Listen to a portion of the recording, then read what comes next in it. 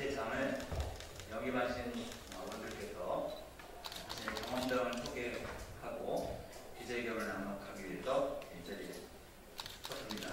먼저 오늘 참석하신 원인들 제 오른쪽부터 소개해 드리도록 하겠습니다. 제 오른쪽 끝에 네, 이해식 예, 의원이시고 전 강동청장이셨습니다. 네, 옆에 김성한 예, 의원이시고 전 노원구청장이었습니다.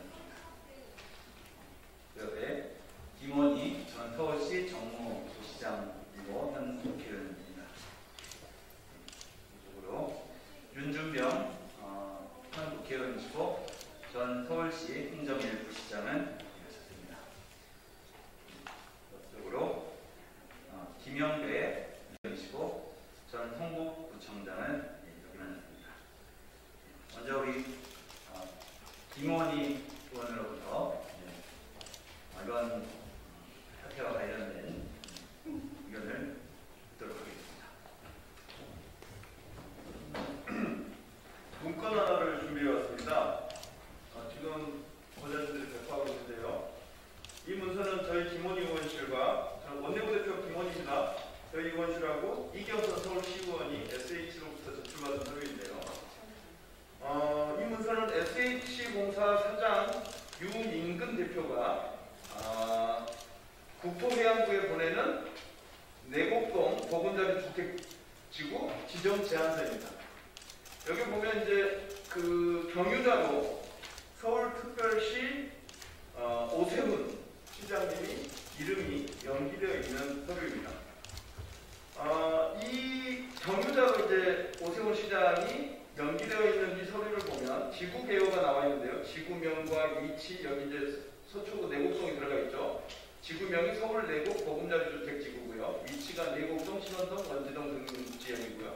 면적과 용도 지역, 계획 인구 및 인구 수까지 나와 있는 계획이고 구비 서류가 정리되어 있는 그런 리스트입니다. 이 문서에는 경유자로서 말씀드린 대로 서울시장, 특별시장 오세훈이 정확하게 명기되어 있습니다. 이런 결재권자가 담당 국장일지 모르겠습니다. 오세훈 시장, 아, 오세훈 후보의 주장대로 결재권자는 국장이어서 국장일지 모르겠습니다. 그렇지만 이런 SH가 서울시를 경유해서 국토부에 보내는 이 지정 제안서가 경유자로 서울시장 오세훈이라고 특정하게 명기되어 있는데 그것을 보고도 하지 않고 국토부에 제출한다? 이거는 서울시 출신의 공무원이라면 상상하지 못할 일입니다. 어, 이 같은 보고 혹은 사전 협의를 했을 가능성을 내포하는 어, 정황이 담긴 이런 문서가 드러난 만큼 이것에 대한 진실을 오세훈 시장이 밝혀야 될 거라고 봅니다. 어, 그동안 오세훈 시장은 현직 시장이지만 전혀 몰랐다고 해명해 왔습니다. 이 그 해명이 거짓일 가능성을 내포, 내포하는 이런 문서가, 문서가 발견된 만큼 오세훈 후보는 진실을 밝히고 잘못했다면 지금이라도 사과해야 한다고 저는 주장합니다. 이상입니다.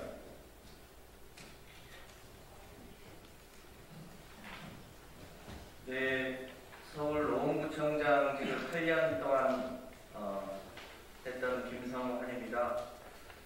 어, 취재 내용 다 같습니다만 서울시의 사무 전결 처리 규칙을 보면 사무 전결 처리 기준에 시장이 결제할 사항으로 새로운 정책과 주요 시책 사업의 기본 방향에 관한 의사결정은 시장이 하게 되어 있습니다.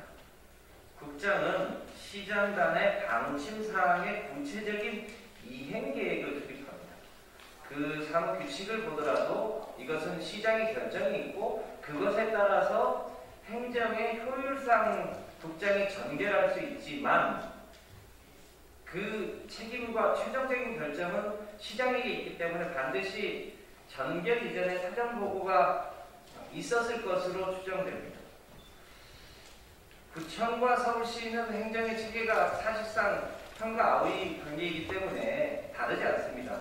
제가 8년간 경험하면서 이런 일을 특히 정부가 바뀌고 어, 이 오세훈 전 시장이 반대했던 일을 초기에 어, 뒤집는 새로운 행정행위를 결정하는데 대한민국의 어떤 공무원도 시장에 보고 없이 스스로 전결 처리할 수 있는 가장 큰 공무원은 대한민국에 단 한 명도 존재하지 않습니다.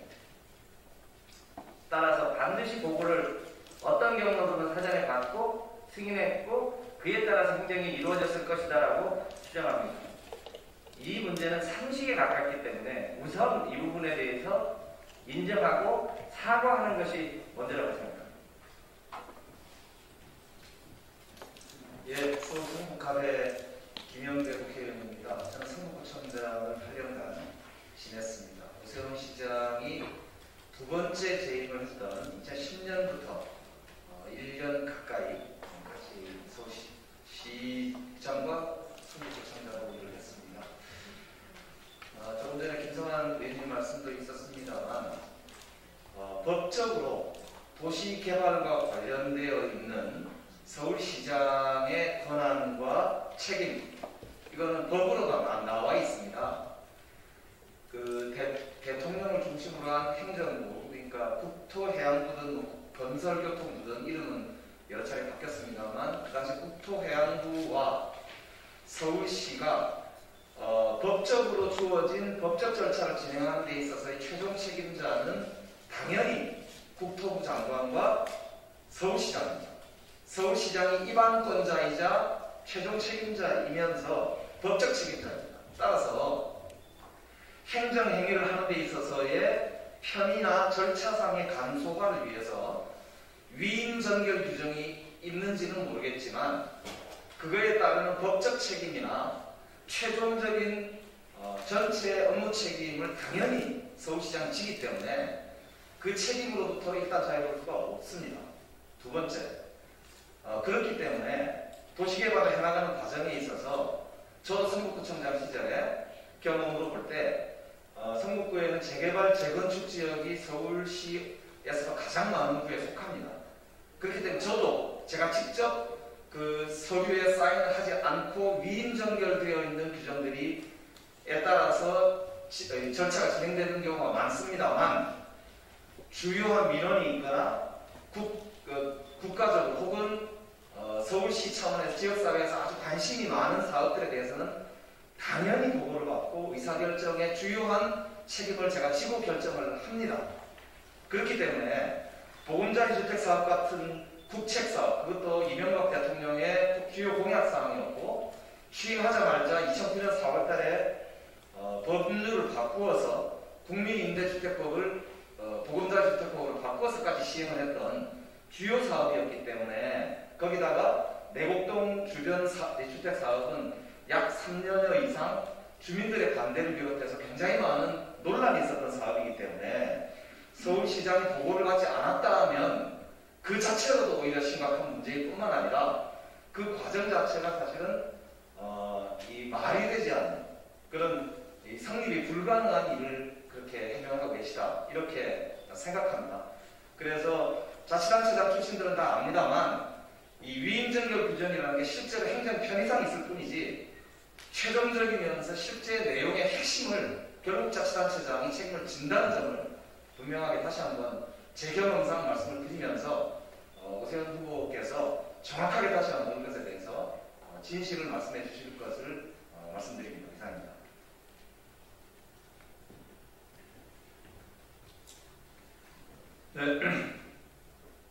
국회 행정안전위원회 이배식 의원입니다. 저는 2008년부터 2018년까지 10년간 강동구청장을 지냈습니다.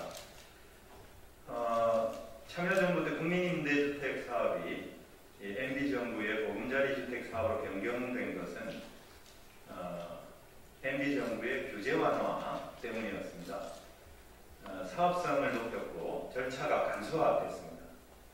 그래서 서울 수도권, 서울과 아주 가까운 곳에 그리고 서울 내에 예, 그린벨트가 많이 배제가 됐습니다.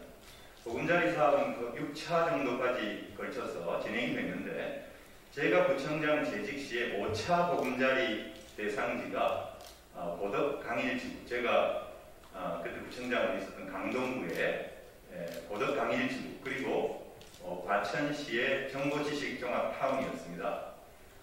어, 보통 그 보금자리 사업은 어, 거의 대부분이 주민들의 극심한 반대에 부딪혔습니다. 그 이유는 두 가지인데요.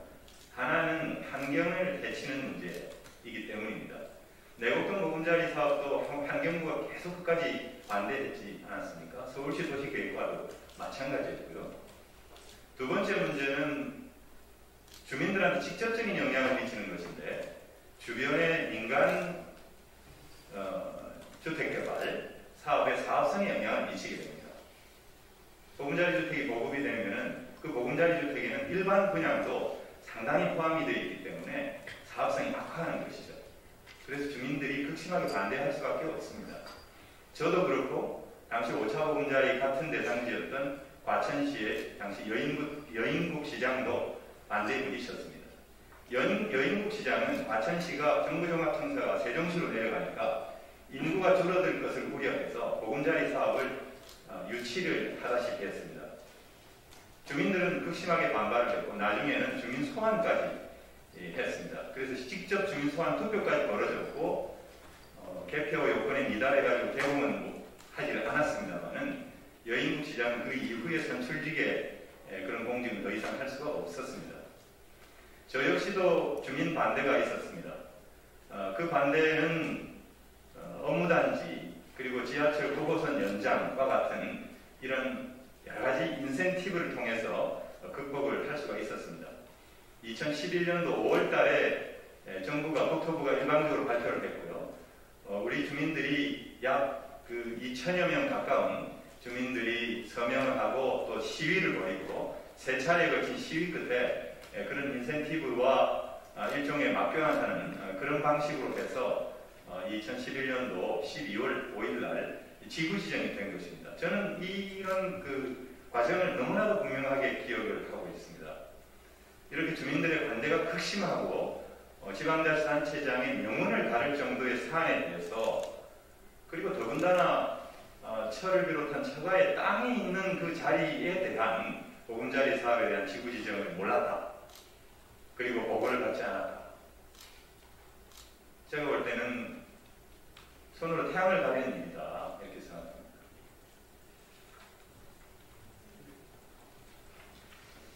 네, 저는 고창 출신 국회의원 윤명입니다.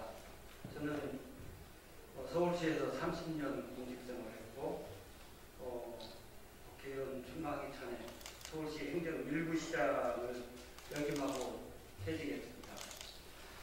그래서 우리 행정과 관련된 제도나 절차들에 대해서 어, 꽤 많이 안다고 자부하고 있습니다. 그런 입장에서 서울시의 중요 정책 사안인데 시장이 정책 사업을 몰랐다라고 이야기하는 것은 어, 도저히 제가 이해할 수 없는. 어, 사무 정결규정 운영과 관련해서 예를 하나 드리겠습니다. 서울시의 가장 주축인 과장급 인사 당연히 과장 인사는 서울시장이 한다고 다 이해하고 계시죠. 근데 실제 정결 규정으로는 부시장이 정결권자입니다. 그러면 부시장이 가장 중추적인 역할을 하는 과장 인사를 시장에게 보고하지 않고 결심을 받지 않고, 받지 않고 하는 부시장이 있겠습니까? 또 지금 우리 주택 문제 심각합니다. 그런데 재정비 촉진지구가 소위 말하는 뉴타운, 재건축, 재개발하는 그런 업무입니다. 재정비 촉진지구 지정해야 될 권한이 주택 법률장에 있습니다. 그 예전 같은 주택국장이죠. 그 주택국장이 이제 있다면 시장은 주택 정책과 관련된 내용을 전혀 모르고 정경권자가 주택국장이니까 시정을 한다. 상상이 됩니까?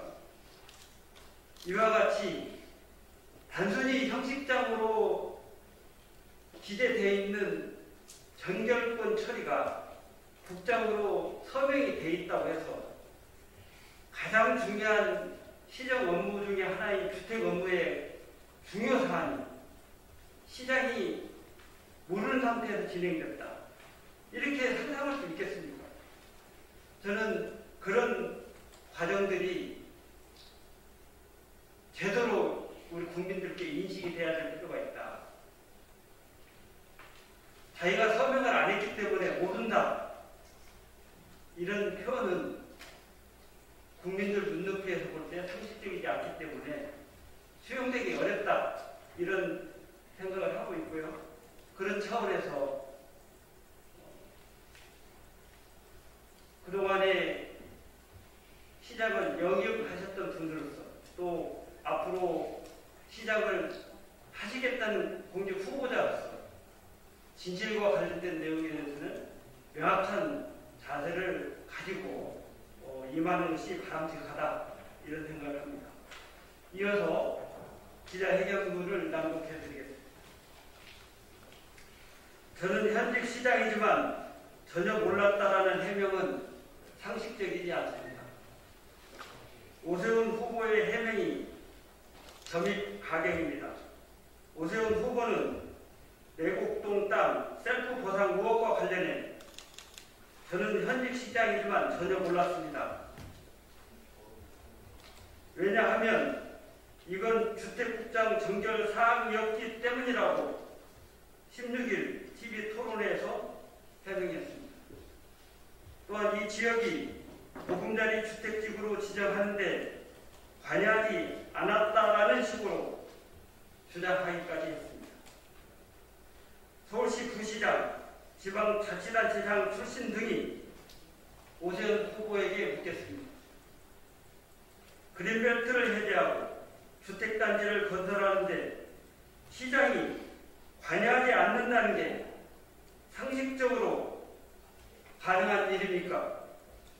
그것도 환경부, 서초구, 주민 등이 극심하게 반대해서 사업이 3년 가까이 표류했던 내곡동을 주택지구로 지정하는데 당시 서울시장이 몰랐다니 서울시 어느 공무원이 시장에게 보고도 하지 않고 그린벨트 해제, 주택지구 지정, 택지 개발을 추진한단 말입니까? 오세훈 후보가 식물 서울시장이었던 것이 아닌 다음에야 거짓말을 하고 있는 것이 분명합니다. 보금자리 주택지구 지정 제안서 양식은 우리 김원희 의원께서 말씀드려서 아마 보셨을 겁니다. 당시 보금자리 주택 건설 등에 관한 특별법 시행령 제4조 5항에 따르면 지방공사가 주택지구의 지정, 변경 또는 해제의 제한을 하려면 관할 특별시장의 특별시장을 거쳐야 한다고 명시되어 있습니다. 따라서 SH공사 사장이 내곡동 보금자리 주택 지구 지정을 당시 서울시장이었던 오세훈 후보에게 어떤 형식으로든 보고했다고 보아야 상식에 부합합니다. 저희들의 경험에 따르면 통상 주택지구 지정, 대규모 개발 사업 등은 보안이 중요하기 때문에 공사 사장이나 담당 국장이 지방자치단체 장에게 별도의 보고를 수시로 하는 것이 통상적인 절차입니다. 서울시장을 5년 가까이 역임하신 분께서 이런 행정 절차를 모르시지는 않을 것입니다. 오세훈 후보 전직 서울시장으로서 더 이상 손바닥으로 하늘을 가리지 마십시오. 지금이라도 깨끗하게 잘못을 인정하는 게 공직선거 후보자로서 올바른 처사입니다. 이상입니다.